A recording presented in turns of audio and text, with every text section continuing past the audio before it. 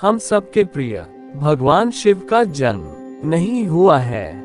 वे शवेन शंभु हैं, लेकिन पुराणों में उनकी उत्पत्ति का विवरण मिलता है। विष्णु पुराण के अनुसार ब्रह्मा भगवान, विष्णु की नाभि कमल से पैदा हुए जबकि शिव भगवान विष्णु के माथे के तेज से उत्पन्न हुए बताए गए हैं। विष्णु पुराण के अनुसार माथे के तेज से उत्पन्न होने के कारण ही शिव हमेशा योग मुद्रा में रहते हैं। श्रीमद् भागवत के अनुसार, एक बार जब भगवान विष्णु और ब्रह्मा अहंकार से अभिभूत हो स्वयं को श्रेष्ठ बताते हुए लड़ रहे थे, तब एक जलते हुए खंभे से भगवान शिव प्रकट हुए। विष्णु पुराण में वर्णित शिव के जन्म की कहानी। शायद भगवान शिव का एकमात्र बाल रूप वर्णन है। इसके अनुसार ब्रह्मा को एक बच्चे की ज़रूरत थी। उन्होंने इसके लिए तपस्या की। तब अचानक उनकी गोद में रोते हुए बालक शिव प्रकट हुए। ब्रह्मा ने बच्चे से रोने का कारण पूछा तो उसने बड़ी मासूमियत से जवाब दिया कि, उसका कोई नाम नहीं है, इसलिए वह रो रहा है।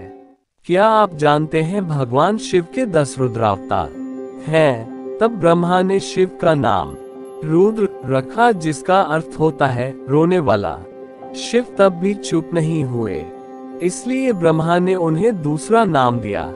पर शिव को नाम पसंद नहीं आया, और वे फिर भी चुप नहीं हुए। इस तरह शिव को चुप कराने के लिए, ब्रह्मा ने आठ नाम दिए, और शिव आठ नामों रुद्र, शर्व, भाव, उग्र, भीम, पशुपति, ईशान और महादेव से जाने गए। शिव पुराण के अनुसार यह नाम पृथ्वी पर लिखे गए थे। शिव के इस प्रकार ब्रह्मा पुत्र के रूप में जन्म लेने के पीछे भी।